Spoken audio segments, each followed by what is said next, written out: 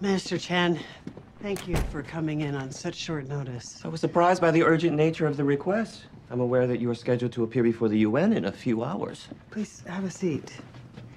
Word is that you intend to address the recent events in Russia. Mr. Chen, you, you recall a couple of months ago when the communication system on Air Force One was shut down?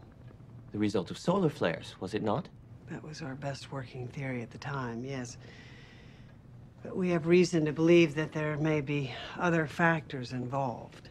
You mean someone hacked into the system? Possibly.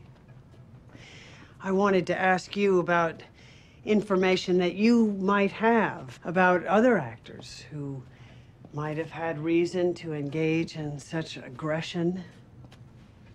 One of the things I've always valued about you, Madam Secretary, is that you tend to speak plainly.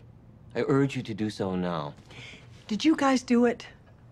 Did China hire George Lasko, aka Dash, to hack Air Force One? You can't be serious. I assure you, I have never been more serious. And why would we do that?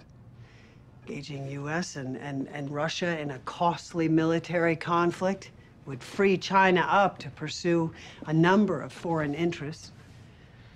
In the year 2000, China owned only 6% of the United States' foreign debt. Now, we own over 21%. We have over $1 trillion in U.S. securities and hundreds of billions in Russian securities.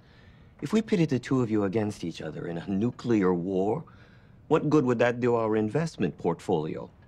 So you had nothing to do with Air Force One? China is playing a long game, Madam Secretary. When we come for you, it won't be with missiles and cyber attacks.